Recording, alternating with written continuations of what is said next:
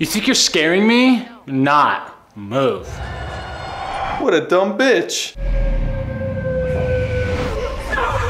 Just do it.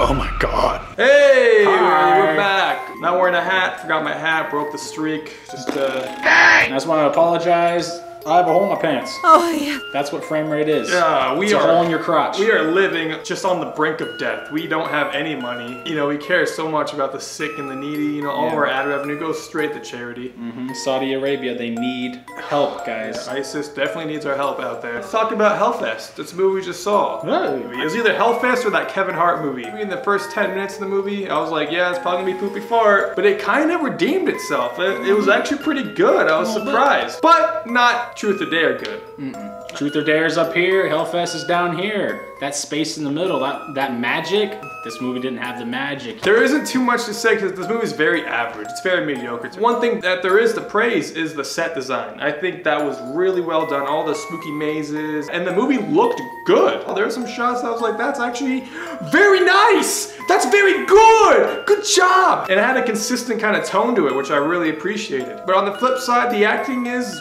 blah. You know, it's not the worst acting. It's not good. It's the dialogue, same thing. It's not the worst I've ever seen, but it's not good. It, it tried to force a chemistry between the characters, and it was it was too obvious. It was almost I don't want to say cringy, but it it, wa- it just wasn't hitting home. Ah, it could have been so much better. I wish the antagonist was more intimidating. All he did was kind of just stand around. And there's only one scene where you see him kind of running, and he just stumbles and runs into a wall. Wait, I can run? He hits the wall, and he's like, huh.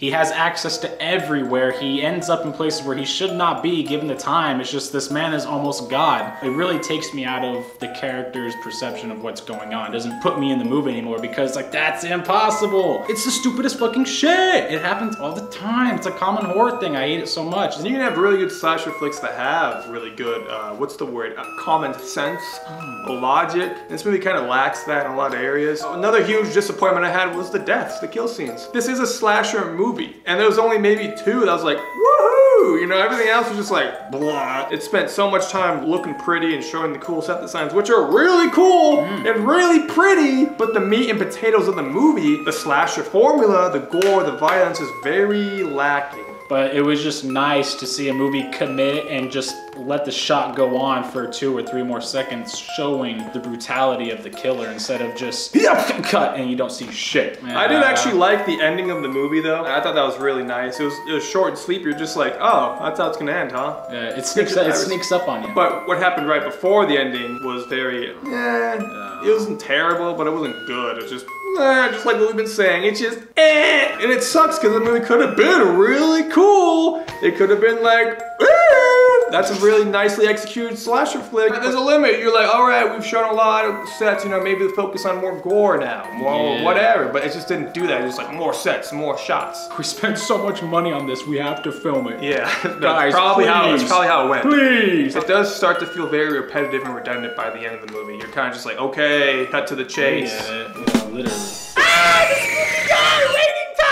I'm gonna give this movie a not so confident but flat six. And this movie had positives to it, it just didn't live up to everything else that's good about the slasher genre. It could have been better, but it could have been a lot worse. It won't be remembered, but it'll take me a good two days to forget. So I mean, that's saying something, right? Yeah, I've been torn. I was like, five or a six? Oh wait, we're framing it. We have a middle ground. I'm gonna give this a 5.5 out of 10. There's some mediocrity in there. There's some just plainness in there. There's some cool stuff like the sets. There's some bad stuff like the gore and lack of gore. It's not the worst thing you'll ever see this year, but just don't, you know, you don't gotta watch this. Don't watch anything coming out this week. Just go eat some pizza. Eat some pizza, rewatch the original Teenage Mutant Ninja Turtles, and have a good time. This video's a boring video. Can't say anything. I hate these videos, man. Yeah. They suck. We, have, we I want can't- movies to be either really good or really bad. I hate these in betweens, mm. man. It's We just. have no personality right now. what do we see next week? Venom. Venom. Venom. knock knock, the devil in. And we'll see you later. Goodbye. That's I'm a sick bug. I like a quick bug. Get a swastika tattooed on the back of my head to show my brothers that I'm there for them.